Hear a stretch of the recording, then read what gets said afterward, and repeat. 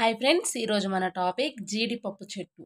జీడిపప్పు చెట్టు గురించి ఈరోజు మనం ఈ వీడియోలో పది వాక్యాలు చూద్దాం. మొదటిది జీడిపప్పు చెట్టు అనేది ఒక ఉష్ణమండల సతత హరిత చెట్టు.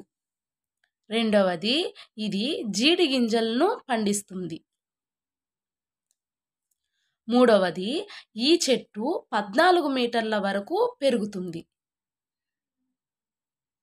నాలుగవది జీడిపప్పు విత్తనాన్ని సాధారణంగా చిడితిండుగా పరిగణిస్తారు. ఐదవది జీడిపప్పుని వంటకాలలో కూడా ఉపయోగిస్తారు. ఆరవది జీడిపప్పు యాపిల్ లేత ఎరుపు నుండి పసుపు రంగుల్లో ఉండే పండు.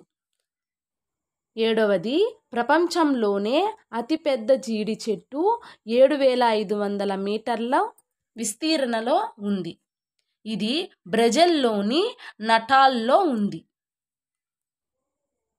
ఎనిమిదవది జీడిపండు జీడిపప్పును కూడా తింటారు.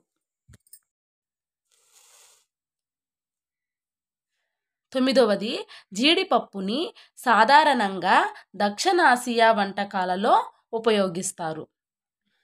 పదవది జీడిపప్పుని ఇచ్చే పండును ముంతమామిడి పండు అంటారు. ఇది పసుపు రంగులో ఉంటుంది. Okay friends.